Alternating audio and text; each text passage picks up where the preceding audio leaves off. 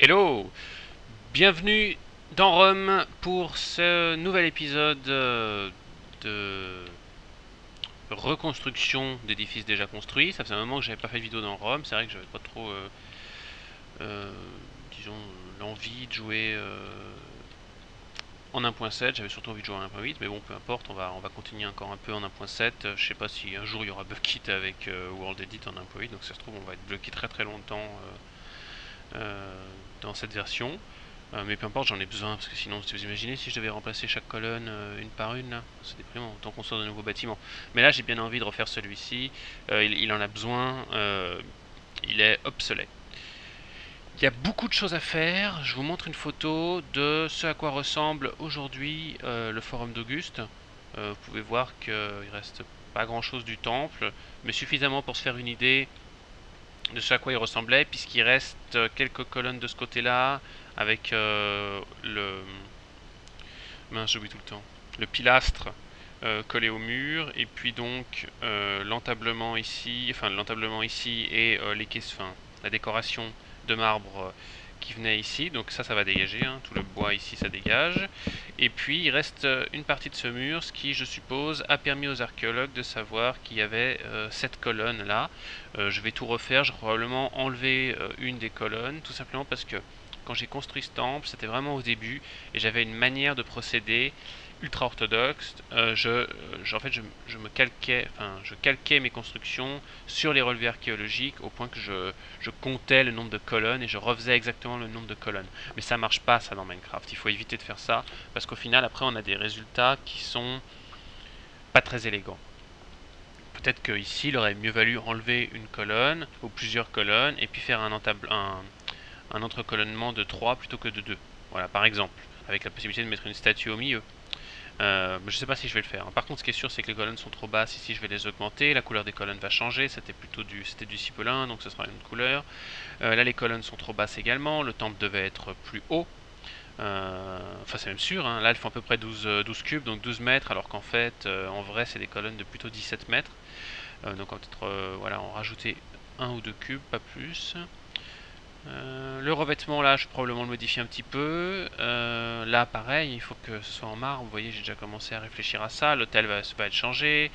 Euh, le socle lui-même va être modifié. Il sera un peu mieux décoré. Maintenant qu'on a des escaliers blancs, etc. Hein, on va refaire les deux arcs. Parce qu'en fait, il y a des arcs de triomphe de chaque côté qui sont dédiés à Drusus et Germanicus. Donc deux personnages importants du premier de la fin du 1er siècle du avant et du début du, 1er siècle après Christ, euh, donc de la famille impériale euh, qui était liée à, Auguste et à Tibère, et Germanicus aurait pu probablement être empereur s'il n'était pas mort. Euh, enfin, on sait pas, mais ça, on s'en fout, me là, on a une statue, elle est horrible, mon dieu. Donc on va s'inspirer d'un autre youtubeur pour mettre une statue un peu plus jolie ici. Probablement une statue euh, d'Auguste lui-même, hein, divinisé, dans cette salle carrée, euh, qui était beaucoup mieux décorée que ça. On va enlever tout le bois, hein. tout le bois là il part, hein. ça ça part, là ça part, ça dégage. On va refaire euh, l'intérieur des absides qui seront un peu plus jolies. Bon bref, je vais y mettre là, on va mettre une voûte. C'est que le revêtement du sol ici que je sais pas, je sais pas comment faire juste pour euh, l'intérieur là. Je sais pas exactement euh, à quoi ça va ressembler. Allez, je m'y mets et on se retrouve tout de suite avec les premières modifications.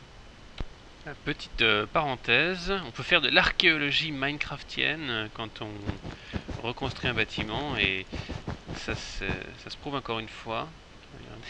Voilà, donc on voit qu'à l'époque où j'ai construit ça, j'utilisais pas encore World Edit puisque les cubes sont pas, c'est pas plein. Hein, donc euh, là, je posais des cubes à la main, euh, un par un, comme ça, tac, tac, tac, euh, partout. Et c'est pour ça qu'il y a des trous, c'est pour, je pense, gagner du temps. aussi, quand je comptais les cubes, pour être sûr de ne pas me tromper. Voilà, là, on voit très bien. J'ai positionné d'abord des petits points pour savoir où viendrait l'édifice par la suite. Alors j'ai remplacé les colonnes par des colonnes un peu plus hautes, j'ai refait le, la corniche du fronton, euh, et puis j'ai réfléchi euh, au caisson. Euh, le modèle que je veux employer sera celui-là. Hein, j'ai pas trop le choix par rapport aux photos. Hein. voilà la photo. Bon. Euh, pour la suite, euh, on se retrouve tout de suite. Le temple prend forme. Voilà le podium réalisé. Est-ce qu'on pourrait pas mettre... Euh, est-ce qu'on pourrait pas faire une alternance avec des, des décorations Je ne sais pas. On verra. Euh, par contre, ici, on a euh, visiblement un bassin. Un bassin de chaque côté ou une fontaine, appelez ça comme vous voulez. Moi, j'ai l'impression que ça... Ah voilà, comme ça, c'est nickel. Ça fait un petit côté fontaine. Alors, je vous montre l'image qui me fait penser ça. Vous voyez il y, a, euh, quelque chose juste au bout. Donc, juste après l'escalier, on voit qu'il y, y, a quelque chose qui carré qui avance après le, après le podium. C'est intéressant. Je pense que c'était des petits bassins. Voilà, donc l'hôtel est fait. Euh, il est pas... Bon, il est sobre, hein, quoi. Et puis, euh, j'ai fait le mur euh, extérieur de la cella. Donc, on peut remarquer que je m'inspire de cette photo. Voilà. On voit un peu. C'est pas du marbre là, mais je pense qu'à l'époque ça devait être entièrement en marbre. Euh, maintenant, il faut que je copie euh, les caissons euh, sur toute la longueur des deux côtés. Ici, on a un système assez simple. Évidemment, il n'y a pas de reste. Alors, bon, j'improvise un peu. Je me base sur une image numérique d'une université. là, je m'inspire de la porte de la maison carrée. Je pense que le résultat est plutôt satisfaisant. Ensuite, une fois qu'on est dedans, j'ai placé les colonnes. Donc comme j'ai dit, voilà, j'en ai éliminé. J'en ai éliminé 3 sur 7 pour garder euh, des proportions euh, correctes et pouvoir faire quelque chose de vraiment plus proche de la réalité, euh, si j'en crois les travaux des archéologues. Euh, donc là, je vais commencer le deuxième. Je suis en train de faire le deuxième niveau. Et puis là, je prépare euh, l'abside qui a complètement changé. Vous voyez, elle était complètement cubique avant, vraiment moche. C'était à une époque où je savais pas encore faire comme il faut les, absides. Et là, on a quelque chose de, de vraiment mieux en construction, spécialement pour le haut. Alors, est-ce que j'y garde comme ça? Ou est-ce que... Oui, non, non, non. Comme ça, c'est le must. Peut-être comme ça. Ça, ça peut être pas mal. Peut-être. Voilà. Bon, je continue et on se retrouve. Non, malédiction Le type, il est pas réveillé parce qu'il a pas vu que là, ça pouvait pas être comme ça, parce qu'on a dit à la base que c'était un temple père. Bon. C'est dommage. On casse. D'accord. Vous voyez, l'intérieur est presque terminé. Là, on a les trois statues. Alors, il y a deux écoles, hein. ou trois statues, ou une statue. Euh, il y en a probablement d'autres, en fait, des écoles. Parce que moi, j'avais lu avec une statue d'aîné, en plus. Donc, euh, en tout cas, c'est ce, que je me dont je me souviens. Ouais. Donc, c'est Vénus... Euh, enfin, on est censé avoir Mars, Vénus et César.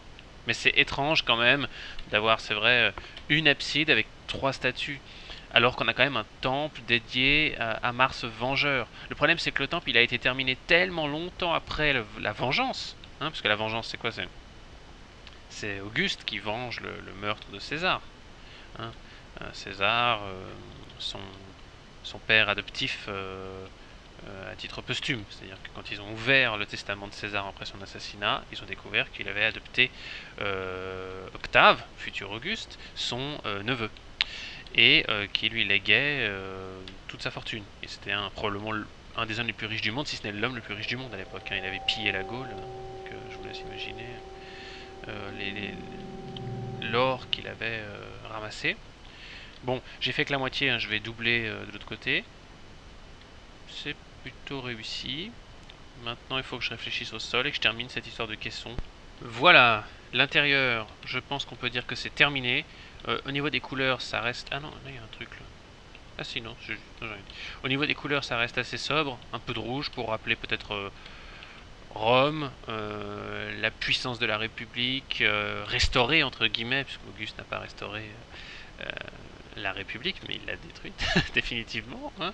Mais dans, dans l'imaginaire qu'Auguste, enfin qu'essaie d'imposer Auguste, c'est bien ça. On restaure la République, on termine les guerres civiles, etc., etc. Bon, sinon du, gris là pour le sol parce qu'on imagine que c'est des pierres, donc c'est richement décoré avec des, pierres coûteuses. quoi d'autre? Et puis de l'or, évidemment, pareil, hein, dans l'idée de, richesse et, de puissance, comme on peut la retrouver ici. Euh, qu'est-ce qu'il nous reste à faire? Là, j'ai doublé. On a les bassins des deux côtés. Et puis, euh, maintenant, il faut faire le sol de l'extérieur, donc le pavement de l'extérieur, et, enfin là c'est là, hein, euh, du pronaos, pardon, et le fronton, ainsi que le toit, qui sera une formalité, évidemment. Alors, je m'y mets, et on se retrouve, comme d'habitude. Le temple est terminé. Cette fois-ci, il n'y a aucun doute. Voilà le fronton. Alors ce que j'ai fait, c'est tout nouveau. Hein. C'est la première fois que je fais ça. C'est que non seulement je mets du relief, c'est-à-dire je l'encaisse un peu plus, ici. Vous voyez, il n'y a pas qu'un seul nid, il n'y a pas qu'un seul cube, il y a deux cubes de profondeur. Par contre, j'ai essayé de mettre par-dessus des formes comme si on avait le, bas-relief. Je ne sais pas si c'est des bas-reliefs d'ailleurs ou des hauts-reliefs. Euh, sais pas, faudrait que je regarde. Euh, parce que je vois pas jusqu'où ça sort vraiment. En tout cas, euh, on essaye d'avoir l'impression qu'on a des sculptures qui se dessinent sur le fronton. Donc ça c'est tout nouveau et j'en suis euh, plutôt content. Pour le fond, hmm, j'en suis moins content. Donc bah, c'est un essai, on verra si on le modifie par la suite ou pas. mais c'est sympa. Alors vous voyez, je sais pas si c'est trop pixelisé, mais je vous montre le bas-relief, enfin le relief qui sert euh, d'inspiration à ça, en fait, c'est un, relief antique euh, qui montre euh, le fronton du temple de Mars Vengeur. Et donc, du coup, c'est excellent pour pouvoir le restituer. C'est vraiment une chance unique qu'on ait ce, ce, relief, parce que généralement, on peut juste se référer à des pièces de monnaie. Donc, c'est pas non plus idéal, c'est tout petit, on voit rien, on voit à peine, euh, et on n'est pas sûr si c'est vraiment euh, ce qui était représenté euh, sur le fronton. Là, pour le coup, c'est quand même vachement plus parlant et probablement certain. Ok, la suite, la suite des événements. Donc ce que je propose, c'est que pour la fin de cette vidéo, parce qu'on va pas la faire durer non plus 30 minutes, simplement parce que sinon elle sortira dans trop longtemps, parce que j'ai plein de jours là sans pouvoir jouer, euh, ce qu'on va faire, c'est que je vais euh, établir le schéma euh, pour plutôt le, un, ou deux modules pour tout le portique. Et puis à la vidéo suivante, donc je vais vous le montrer, à la vidéo suivante, on pourra, enfin ce sera déjà tout fait, et je commencerai à réaliser euh, les arcs de triomphe qui sont à droite et à gauche comme on l'a dit, la sculpture qui est dans la grande pièce carrée, enfin la petite pièce carrée qui est là-bas, et euh, les absides, ainsi que le revêtement et la sculpture centrale, etc. etc. Alors je m'y mets, je vous montre ce que ça donne, puis après je vous dirai au revoir. Voilà c'est fait, je vous montre euh, une reconstitution du, du niveau qui est au-dessus des colonnes où on trouve les cariatides. vous voyez donc à gauche, voyez euh, ce qui représente les cariatides avec euh, des escaliers en, carré, là pour faire un petit carré au centre où je mets de l'or pour représenter euh, les sculptures qu'on avait à cet endroit là. Au-dessus on a une mini corniche, après la corniche du toit, en dessous je mets un cube pour surélever par rapport à la corniche, sinon d'en bas ça ferait bizarre. Euh, la corniche la colonnade, euh, de l'entablement de la colonnade, et puis euh, donc la colonnade qui change de couleur, qui devient plutôt rosée, avec du marbre cipolin, et puis en dessous les marches pour monter dans le portique. Voilà, donc quand on se retrouvera la prochaine fois, j'aurai copié ça sur toute, la, toute la longueur du portique. Donc on verra ce que ça donne par rapport au temple. Peut-être que le temple sera un petit peu... Là j'ai augmenté le temple de 2 cubes, alors qu'ici j'augmente quand même l'ensemble de 3 cubes. Donc peut-être qu'on augmentera la hauteur du temple d'un cube par rapport... Euh, mais juste sur le podium, pas par rapport à la colonnade. Enfin à la colonne. Enfin aux, colonnes plutôt. Parce que je pense qu'il il a, une, a des bonnes proportions comme ça, à mon avis. Mais on a de la marge parce que j'augmente aussi euh, là le, la hauteur du, du mur puisqu'il fait environ 30 mètres, et à l'heure actuelle il faisait moins, donc je le monte un peu. Donc je vous dis à très bientôt. Euh, il y aura d'abord, euh, après celle-ci, une vidéo survival, et puis seulement après, on aura la suite de ce forum d'Auguste, qui vous voyez a déjà bien changé si on compare avec le début de la vidéo. Évidemment, le temple a une stature totalement différente qu'il avait avant. Hein, avant, on était plutôt de l'ordre, dans l'ordre de, ce genre-là, hein, de mes anciens temples assez vilains. Ça, c'est le temple de Vénus Genitrix qui sera modifié le jour où je referai le forum du divin Jules César. Allez, à bientôt.